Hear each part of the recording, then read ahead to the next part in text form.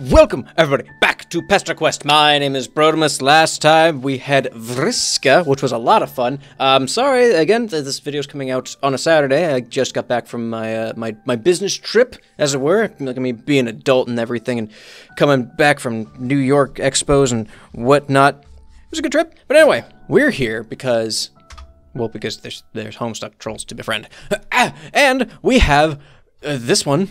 Begin the friendship process. Now, a little bit of a disclaimer: I have never done an Equius voice in my life, so this is going to be a real treat. Question mark. But let's get right in it, shall we? It's a clear, cool night. I'm excited. I'm, I'm but, before we get right into it, I'm excited for this because man, not being able to do this on Wednesday was kind of a bummer for me. I got to be in New York, which is pretty cool, but I wanted to really get this up, get this done, get it, get at it. I missed it. I really did miss it. So now, I'm excited to be here. Even if Equius is one of my least favorite trolls. Not because he's not a good troll, just he never really stuck with me. Hmm. Anyway, it's a clear, cool night. And you're wandering around trying to decide whose hive you should crash at before the sun comes up. It's nice having so many options for places to stay. You've cultivated a decent community for yourself, and there is an ember of pride in your belly about it. Still, you find yourself feeling a little aimless. The last couple friends you made were pretty intense. That's not necessarily a bad thing, but you're vibing at a chiller frequency right now. There's still a while until it gets dangerously light out, so you sort of pop around, see what feels right, and just going around, hopping place to place, see, see what you know, see what sticks. Just throw it at the wall, see what happens. It's kind of fun to test out the boundaries of your powers. You've used it to find friends, but you're really not sure how far it goes. You think tree, and you don't know how your magic brain decided which one to choose, but fuck if you aren't sitting on a highly, an extremely high branch a second later. You try it again with whatever concept comes to mind. You try it again with whatever concept comes to mind. Garden. Okay, so now we're just popping around Boldier's locations now? You try it again with whatever concept comes to mind. Cave. Oh, okay, so now we're going to. Okay, so cave, mall, and it all works. Oh, it's Daria's mall. You don't remember ever having been to any of those specific places, but you feel a strange, prickly affinity for them each time your feet touch the ground. Those are all pretty general occasional nouns, though. You wonder if it works for things that are more abstract. Quickly, before you can talk yourself out of the naivete of it, you think, home. It still takes you a minute to open your eyes, even after you feel your guts all back in the right place, because what if you wake up in a room that feels like yours? Or worse, and infinitely more likely, what if you don't? You breathe in and immediately cough wretchedly. Oh. So it did take us back to this little this little hidey how space, huh? You open your watery eyes, clinging to the hope that maybe you come from a land of dusty comforts, where you always just breathe in layers of dust and it's fine. It's not fine.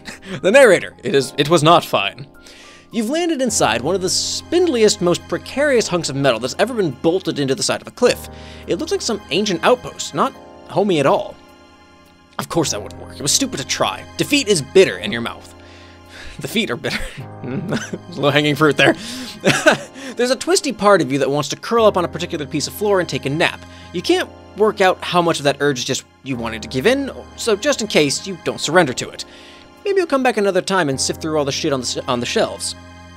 But for now, you're not sure how structurally sound this thing is, and you can't take any more disappointment. So you try one more time to pop somewhere you haven't been before. What was the one guy's name that Gamzee mentioned? Oh yeah, Equius. Did Gamzee mention Equius? I don't remember that. Maybe he's chill. Just maybe he's chill. You think his name and zap away, imagine yourself leaving an edgy, despondent swirl of dust in your wake. Oh, he's gonna punch through a fucking. The posters. Oh no, the posters. Your magical zap calibration maybe isn't as off as you thought because you pop in on Equius as close as possible to get to the dude without landing directly on top of him. The astonishing unchillness of the situation is imminently apparent. He's mid-jump, mid-yell, mid-sweat, and mid-swing of an outlandishly beefy arm toward you. You freeze frame like an anime protagonist analyzing their choices mid-battle. In your drawn-out split second, split second of an observational window, you realize he's not aiming at you, but in the direction of whatever noisy whirring thing you happen to plop down in front of. Uh, fuck? As soon as he sees you, his eyebrows shoot up above his busted ass sunglasses and his yell strangles itself into panic. His arm shudders as though he's trying, and failing, to alter its glorious faceward trajectory. Our face to face interaction is about to increase greatly. That's an old fucking comic from back in the day. I used to love that thing. You really do not want to get your face punched off your head, so you scream and zap just outside the high arched door on the far end of the room. Oh boy. You hear a deep, meaty thunk, followed by a groan, then a sharp metallic crunch. The whirring stops. Oh my god, is he dead? Is the other thing dead? Should you go check on him? You skitter away from the door and then back to it, unsure what to do. Uh-oh. Oh, I forgot his fucking troll tag was Centaur's testicle. I, I, that, I blocked that out, apparently. Um, I don't know what voice to give Equius. He's kind of a fucking creep. No offense to anyone who loves Equius, but he's kind of a fucking creep. And, like, not the same sense that, like, Eridan or Zebra are creeps, but he's just kind of a fucking weirdo, right? Anyway. Was that? No, it can't have been. Bean. Hello? Show yourself this instant. Ah, fuck. He does not sound happy. His words are a little garbled too, like some teeth just got knocked out by whoever's ass he was just kicking. You weigh your options. Chicken out or be brave. Chicken out. That seems like a terrible thing to do in this situation. You know, Equius looks super strong and even more pissed. You really, really do not want to be next in line to get disemboweled. If friendship with this guy is really meant to be, maybe you can reconnect with Gamzee as an intermediary. That sounds like a normal and cool time. Panic grips you as his heavy footsteps approach the door. Forgetting you have super useful zap power specifically for use in time of sensitive panic situations, you turn and run. Fucking moron. You glance over your shoulder as you go and collide spectacularly with a brick wall. It's Centaur Dad! Looking up from the brightly polished floor where you lay, inexp- Is this the first Lusus we've seen of all these trolls, actually? No, we saw Spider Mom. We didn't see Crab Dad. We didn't see, um, Mother Grub Mom. Or just, just Mother Grub. We didn't see Sea Goat Dad. We did see Spider. Okay, so this is the second one. We saw Spider Mom, though not in sprite form. Really, we always saw her in like background or like end screen form. So this is kind of interesting to see uh, Centaur Dad in uh, sprite form, I guess. Looking up from the brightly polished floor where you lay, inexplicably doused in milk and broken glass, you realize it wasn't a wall you hit. It's a glistening, part pseudo-humanoid, part horse, cow, beast person? Another godforsaken Lusus, maybe? You really aren't sure, but the fact that his top half looks kind of like a more uh, uh, like a more dapper you fills you with the most cursed mixture of fear and curio curiosity, curiosity you felt thus far. He doesn't seem bothered by you at all, only anxiously trying to get by you. You try to stand up and Equius pummels you to the fucking floor, but you slip on the milk and eat shit just as Equius bursts through the door.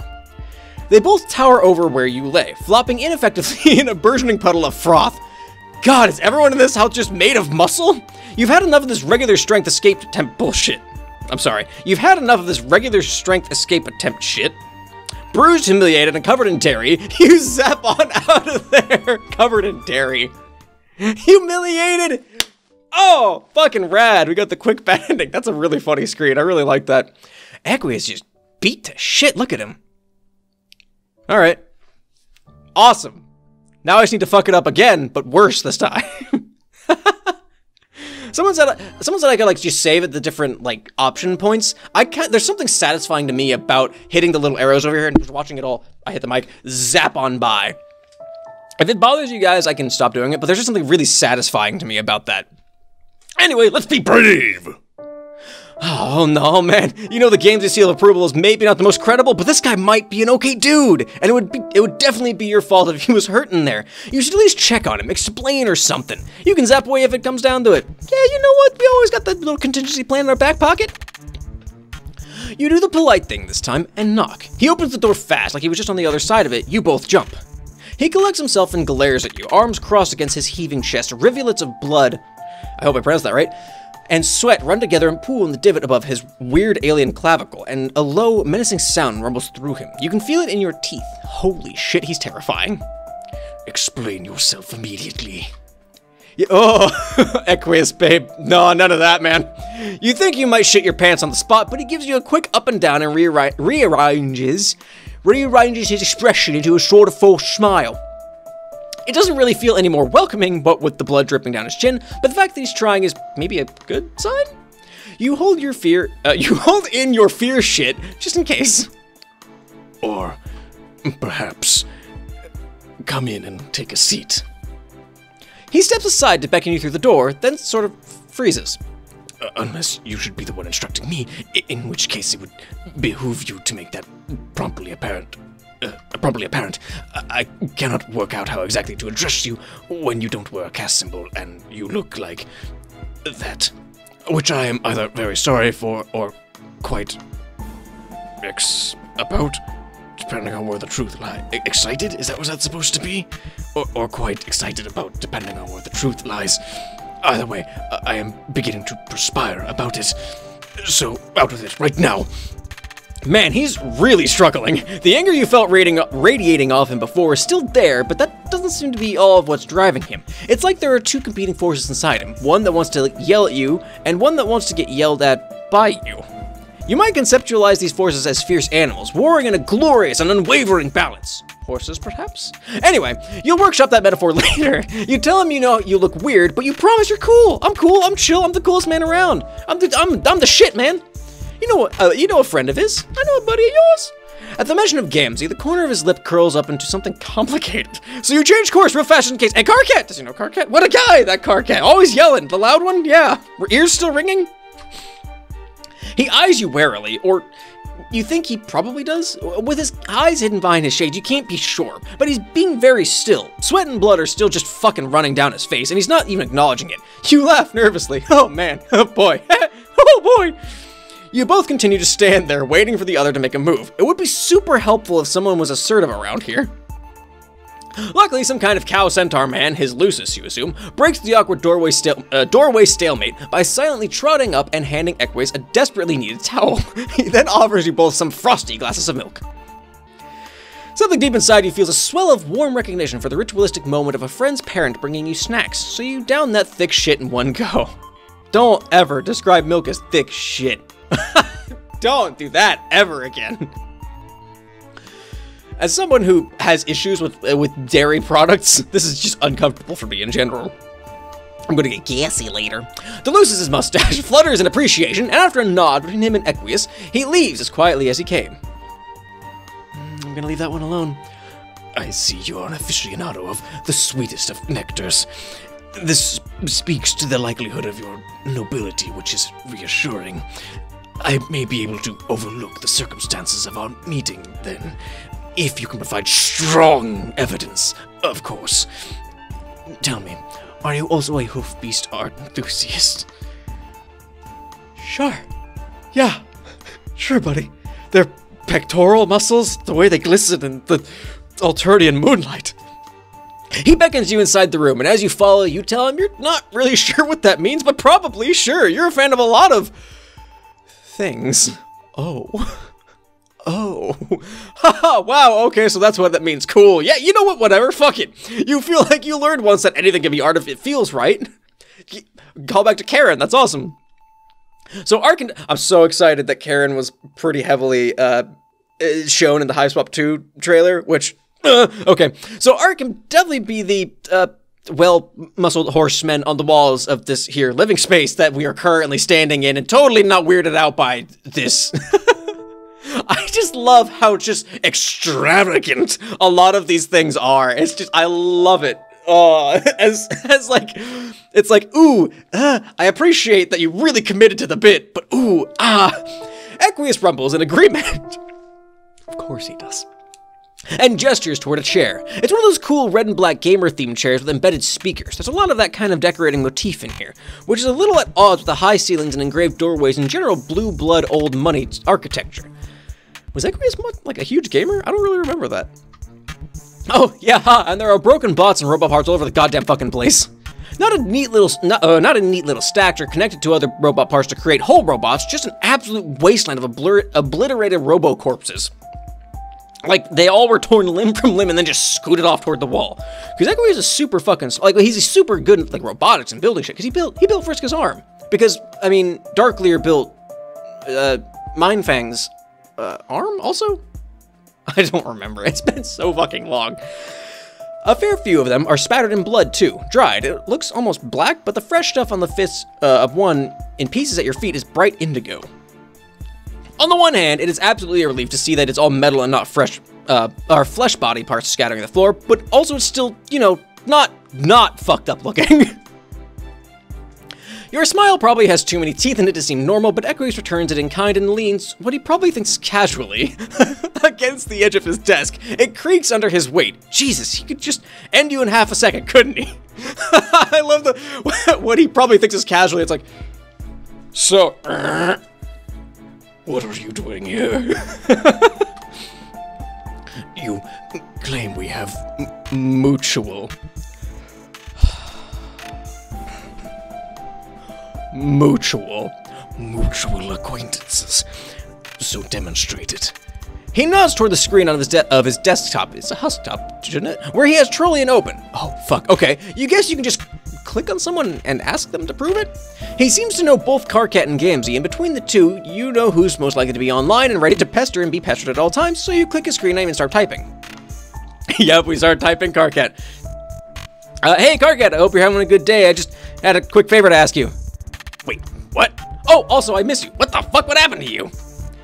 Where's your horrifying quirk? How am I supposed to saddle up for some truly nauseating conversation if I don't have a not not veiled at all bulge reference greeting me at the beginning of every one of your excruciating messages? Are you sick? Like, in a new way? Oh, right, Jesus, you're logged in as Equius. Your fool ass just started typing like you had your own account for some reason. You blame it on the nerves and get to clarifying. Oh, ha, sorry, this is your new friend. After I dropped you off yesterday, I wandered around for a while and now I'm hanging out with Equius. I'm using his computer. This is really like the first dialogue that we see from MSPA Reader. Because, like, we got the whole joke with Dave about how, like, you just say shit out loud sometimes. I, like that the fucking phone in the background looks like a really disgruntled face. anyway, but this is like the first dialogue dialogue we see from the MSPA reader, which is kind of interesting. I don't know if it means anything, but it's kind of interesting nonetheless. Anyway, I'm using his computer. Oh, my pusher almost fucking gave on the spot. I don't think he trusts me. Can you vouch for me? Hold on, let me just bask in the concept of the two of you hanging out. This is a mental masterpiece, a tableau of awkward fucking splendor. I legitimately do not even know what sort of short circuiting must be happening in his brain to try and make sense of you. Please don't tell me a single fucking thing about it later. Okay, phew, I'm done now. Is he watching? Equius leans over your. Oh, my mouth made a weird noise there. Equius leans over your shoulder and tucks his hair behind his ear so it doesn't get in the way of his typing. It's a bow and arrow. Any resemblance otherwise is only a pleasant pleasant. Pleasant, he says. Coincidence. And yes, I am watching. Okay, whatever. Listen up, you milk-log chum squelcher. Whew! This little guy right there, the one you're probably dripping sweat all over, that's one of the realest friends you will ever hope to make. Sure, they'll send your life careening horrendously off course, but it will absolutely be worth it for the level of dedication they bring to the table. Don't even bother with the blood color horseshit with this one, since they're uh, the only one of their species. Just roll with it for once in your in your wretched life. Don't fuck this one up, Zahhak. They're an abomination they wouldn't know what a boundary was if it uh, took up residence in their grace chute. Well, you do have those things in common, so in this case, that's a good thing. Equius inhales. I apologize. The Karkat voice really just fucking uh, really rips a, thor- a throat ripper. Equius inhales sharply, and you wonder what Karkat meant by that. About Equius, you mean? Sure, you're an, an inexplicable being, neither Earthling nor Alternian, but with weird, itchy memories about having lived on both planets. But he doesn't seem out of the normal range of fucked up, considering troll standards. In fact, how about this? That is sufficient. Goodbye.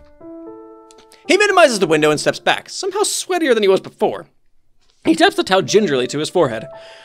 So, we have now been properly introduced. I didn't even notice they didn't put the bow and arrow in the uh, in his dialogue box. I guess to be fair, you can't really vocalize bow and arrow. I mean, I guess you could.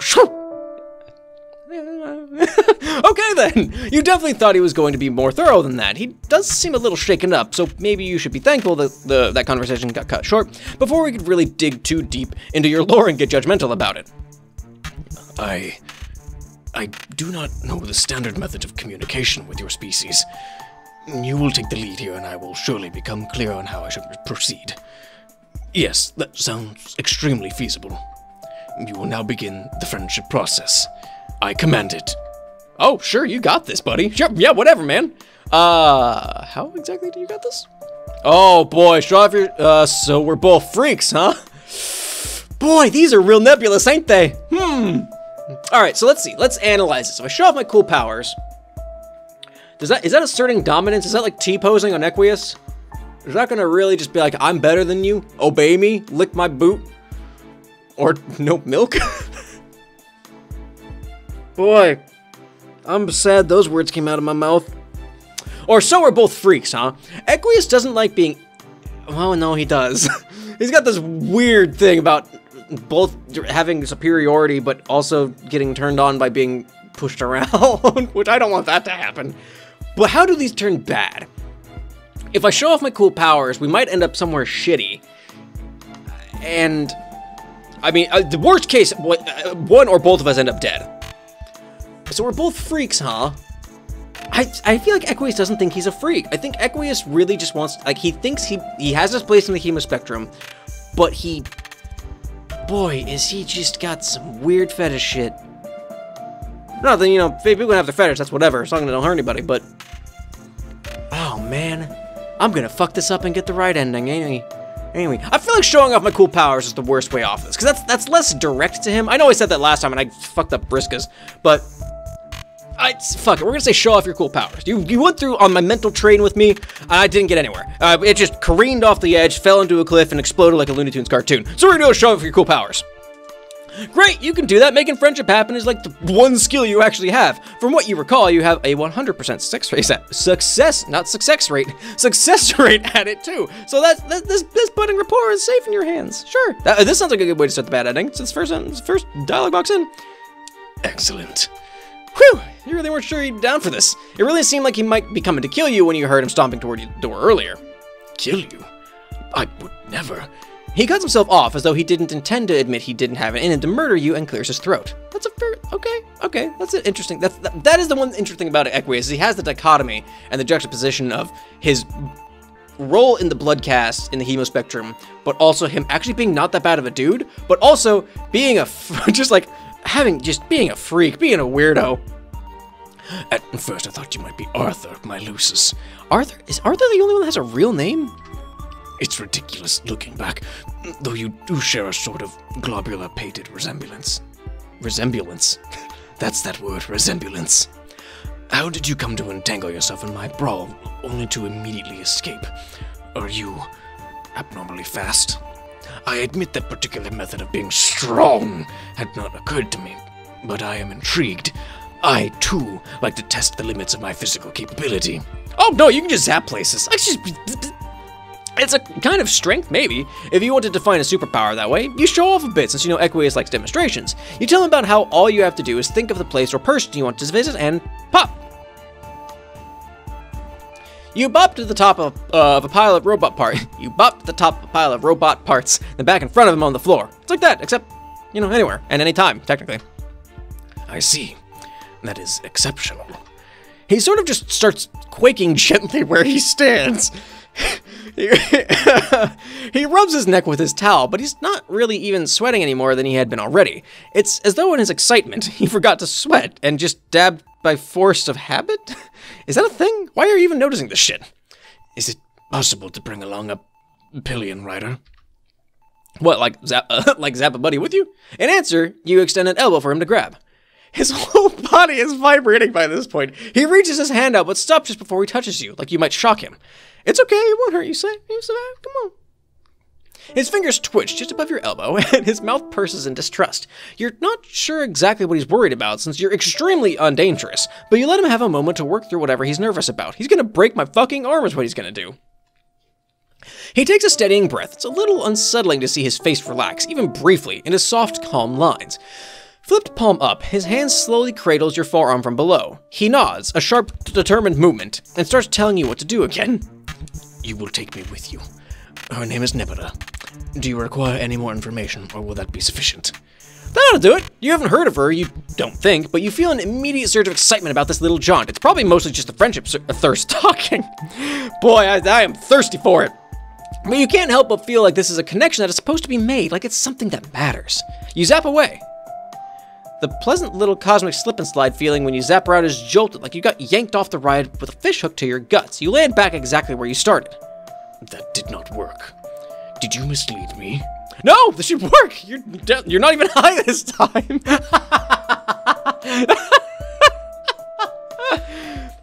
as impressive as the strength of your power is, perhaps you need to apply more attention to the more intricate details involved. She is an olive blood, very short and shamefully unkempt. This information will help. You hope so. He, uh, is starting to look pretty tense, even with the fond til- uh, lilt in his voice. He talks about his messy friend. Aw, that's cute. You give it another whirl, and then you feel it that same weighty glare on the back of your neck telling you you don't belong. Oh! Fuck, you got Zap blocked again! Okay. The T posing man is back. You will try again. Each word is ground out one at a time between his clenched teeth. Blood trickles through the cracks in his bite and out the corner of his lips. You really don't think this, it is going to work, but Equius looks like he's a second away from losing his shit, so reluctantly you comply. Quit, quit fucking trying to skip ahead. It's not going to work. Okay. Okay. I still think that's Dirk. I still think that's Dirk. As you hurtle through space-time toward Equius's floor, you start to wonder if this is just gonna be what happens now when you try and make friends. You accept this truth into your heart as you face as your face accepts the impending wood planks. Equius lands on his feet a little ways away from you, his hands balled into fists, bellowing with impotent rage. He's not even saying words, just unleashing an agonized guttural wail. He punches an already dead robot torso leaning against a bookshelf. In punctuation, he kicks its decapitated head, which explodes in a shower of bolts and sparks. As the dust clears, you see him dutifully wiping himself down with a towel, breathing hard. He seems to have worked his anger out, because he walks with purposeful grace, as though he he learned it in Cotillion, and sits next to where you're still sort of laying on the floor. You're both silent for a beat. Equius tugs at a lock of his hair, anxiously wrapping it around his finger, into uh his hands fall in his uh boy, howdy. His hands fall to his lap. I apologize for that display. The disappointment emotion is not my favorite. The disappointment emotion. I feel better now, however. My moirail lives very far away, so our paths have never been able to cross. Whatever force is blocking this seems to wield significant narrative power, so I will respect its whims as above mine in status. That's a weird thing to say. For now. Ha! You know it happens. You're no stranger to the ups and downs of friendship. The trick is to know when to keep trying and when to fall back, no matter how futile it seems or it feels or how alone you are. Your moral, your morale is impressive, considering your circumstances. That's probably mostly a compliment. You're not really sure. Your circumstances definitely feel like they could be worse. You are very sure of yourself. How do you manage this when you are the only one of your kind? Without a society to tell you how to act or feel, how do you know if you are living in the correct way? How do you know where you belong? Or if you belong? Fucking ouch. The desire to belong is a yawning wound in your guts, one that never seems to heal. You try to not let this rip too many stitches out of it.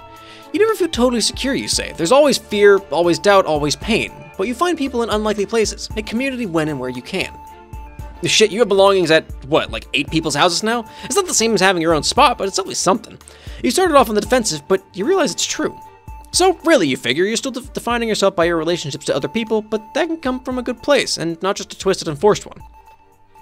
You get wanting to know you're doing something right, unlocking your own mentally devised set of achievements for that sweet dopamine rush.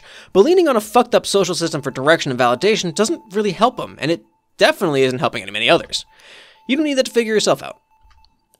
His brows furrow, and you can almost hear a couple of the 46 or 4,672 ridged barriers in his brain creaking open. It's not just other people you think. You find strength. Oh, sorry, strength. Is that right? In yourself, or in your own self too. You've met a lot of people and learned a lot of ways to be, but you're still working on what that means for you. No, it is not right. But I appreciate the attempt. This type of understanding has not come easy to me, but I believe I am following. In my case, I have striven to locate and retool the edge of my own uh, ability. Physical prowess is a relatively typical indigo trait, but I am abnormally strong. I have worked to hone it in an attempt to make sense of myself and why I am like this. Reining in an aberrant trait and defining myself by it. He gestures to the god awful robot mess, then flexes his hand. The blood has coagulated since you two started talking. He stares at it. This way of thinking may not always be a good thing, however. Certain habits are difficult to break. Though there are loopholes in every rule, I often lose track of which regulations I actually enjoy following and which I just do not know how to disregard. At least with this hobby, all the stakes are under my control, with no chance of others getting hurt. Unless they haphazardly zap in between your fight looking for friendship, that is. His smile is his. Oh, I got the good ending, didn't I? Damn it. Oh, look at this sweet boy. His smile is as broken and rigid as it was the first time, but it feels different, backed by the rough warmth of his laugh. yes, do not do that again. Next time you'll zap in front of the door and Arthur will let you in. Next time, you think, and you smile back. Excellent victory. Well, now let's ruin it. What a sweet ending to the good one. That was nice. Now to fucking screw it all up again. Shit. Be brave! Alright, now what do we gotta do? We're both freaks, huh? How about that, eh? Alright, here we go. So you just like to go for it. Sometimes leaping into what could potentially be a super sensitive topic for someone ends up being the key ingredient in a friendship pie. You can see it now. Equius crying, thankful you were here to talk about whatever this unspeakable commonality you share is. You wiping his tears with his already pretty soaked towel. You shake yourself out of your daydream and drop this sweet loaded question right in his lap. Holy shit, you can't wait till this works. Excuse you. Okay, so this was. I did see this coming. Pointed out, I did see this coming that he would get offended at me saying this. Speak for yourself. My standing is unblemished. Karkat is only comparing us in that way to further the ruse that he is removed from that particular category. It is a delicate social dance. Oh, okay. You're not really sure Karkat sees it that way, but hey, whatever works for them. Anyway, you know he was just yelling a lot about some uh, something that's not a big deal, as is his manner of showing affection. But you just thought he meant like the horn thing. The horn thing. oh shit, you're sorry. You don't know what uh, things are and aren't callable around here, you know? It's almost like it's all entirely arbitrary and at the whims of whoever's in charge or something. you like the look, personally, but you haven't made friends with someone with a broken one before, so you're not sure how common it is. It is relatively uncommon. They are exceptionally sturdy, so it takes something very strong to break them. He looks like it might be a, uh, he might be about to tell you the story, but somehow you keep not learning the lesson where you should just chill and experience something instead of leap to try to figure it out. Boy, that was a sentence that I just completely lost track of there. He looks like he might be about to tell you the story, but somehow you keep not learning the lesson where you should just chill and experience something instead of leap to try to figure it out before it happens. Alright, I got there. Got it figured it out. So, fueled by enthusiasm for your newest spur of the moment decision, you stopped listening to his lecture on troll biology and focused instead on zapping to the moment his horn broke. Troll biology is probably super uninteresting anyway, and you'll come right back here after and he'll be able to contribute more to the conversation. You pop into oh boy, familiar nothingness, but instead of appearing at a point in past, you feel yourself split. It's like looking at a magic eye puzzle, but with your whole body. You try to concentrate to align the segments into a whole, but it's too late. You think for a second it might be a cool new power, but it doesn't feel that different than before, only just triple. It's like there's narrative precedent for this moment existing in more than one plane of truth. Unable to do anything else but sit and sit there in space, contemplating this paradox, you watch. He looks a little younger, but not much. He's beating the shit out of a robot, but it's not the same as it was when you saw before, however briefly. Then his movements had been smooth, even in their rage, like he wasn't afraid until you showed up. Here in this weird half-present space, his movements are erratic. He swings wildly, unthinkingly, like there is nothing left inside him but one last flicker of fury. His teeth are gritted uh, against tears, and he just looks so tired. You want to pull him back, to make him rest. You see him reach the same conclusion, but not at all how you meant it. He just stops. The robot does not. You feel him close his eyes. At the same moment, you see another snapshot of time, much further back. There's a little grub, wobbling its way up a stalag uh, stalagmite in a cave. It's definitely a precarious place, but it still somehow feels safe to you, for some reason. Safe, but also like super violent. Who knows, there's a lot of going on right now. He crawls to the top and roars a baby clicking roar, eyeing a taller cave precipice. You see his little behind wiggle as he moves to jump. Over top of that, there's another Equius, looking about the same as he does now, just plus one horn, out for a stroll in the moonlight. This one is about to cross the street when a majestic herd of hoofbeasts crests a faraway hill. He stops, transfixed, as the animals gallop across the plain. He doesn't, he doesn't hear the approaching scuttlebuggy. You watch all of this from your floating void standpoint, unable to stop it. The arcs of their falls align in cosmic uh, synchrony, hair fanned out like a banner of defeat. The echo of the crack the horns make as they shatter reverberates in your teeth. You yell as all three Equiuses hit their respective grounds. You can't help it. You started to care about this guy a little bit. As the sound leaves you, all three of them turn their injured heads to look at you in unison, and you freeze. Shit, that's probably not supposed to happen, right? You were just watching, not changing anything. You barely know what you're doing, though, so you can never be sure. You zap immediately back to the present, winded and dizzy. You feel deeply, suddenly corporeal, like you do when you step off a boat onto the shore, but with each atom of your body separately and all at once. Equius is standing exactly where he was when you left, totally unchanged, still yammering about anatomy. Whew, good to know nothing got fucked up in the future after you... Wait, you were there. He pauses, shaking his head to clear, uh, clear it as his memories realign. I don't know how I didn't remember. I accepted your offer of friendship, and you repay me with this tomfoolery. You knew how it happened all this time, and yet you played ignorant, jockeying for position as someone I trust only to play me for a fool. No, you see, you didn't before. It wasn't until after you went back uh, that this became the way things went. See, the way time travel works is. Do not explain time travel to me. What do you take me for? You're still reeling a bit from seeing him so vulnerable, by varying definitions of vulnerable, you guessed, but still. This got weird. you know you got this information from an unfair source, but now that you have it, you don't feel right just leaving. There's more to Equius than you'd originally thought, and you can feel the chance to learn more about him slipping away. I don't know what it is you want from me, but you will not receive it. Whatever connection you feel to him in this moment, he clearly does not return it, and Ah, shit, he's starting to get pissed. Sweat begins to beat at his temple. Your brain, scrambling to grasp a hold of any thought that isn't your abject friendship failure, latches onto the realization that, sweat and all, his hair somehow still looks really good. Would now be a good time to ask him about what products he... I don't think this alliance is going to work out. You will leave. I must get back to my business.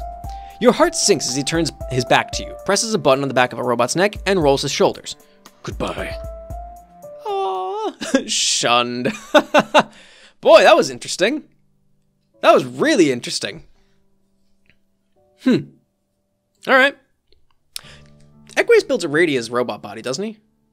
Right? Does he do that? Shit. I don't remember anything about Equius. Uh, what is wrong with me? Anyway, that's it for today's episode, everybody. Thank you so much for watching. If you liked it, make sure you click the like button down below. Subscribe so you can keep up with my stuff. New video every Friday at 1 p.m. Eastern Time. We're going to go back to the regular schedule next week, so be there. I mean, I'd say be square, but, you know, that's just mean. Comment. Let me know what you guys think about this. Um, that actually changed my focus, uh, my opinion on Equius. That was a, really nice part. I still think he's a bit of a weirdo, but I feel like that's kind of his whole shtick.